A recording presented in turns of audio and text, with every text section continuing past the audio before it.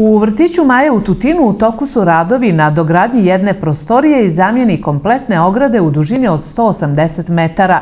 Projekat će biti realizovan uz podršku UNDP-a i opštine Tutin u vrijednosti od 50.000 dolara.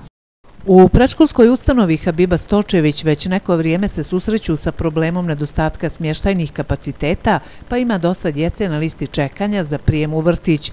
Dogradnjom još jedne prostorije lista čekanja će se u nekoliko smanjiti, imaće više mjesta za boravak mališana.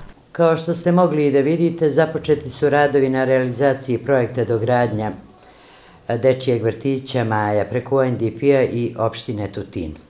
Naime, postojeći vrtić Maja se građen je 89. godine, površine 665 metara kvadratnih, u kojem trenutno boravi 170 dece.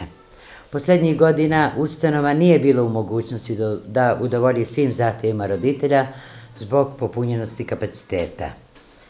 Trenutno na listi čekanja ima do 30 rodece, prijavljenih uzrasta od 1 do 5,5 godina dogradnjom još jedne prostorije, 60 kvadrata, smanjila bi se i lista čekanja, a na opšte zadovoljstvo i roditelja i ustanove.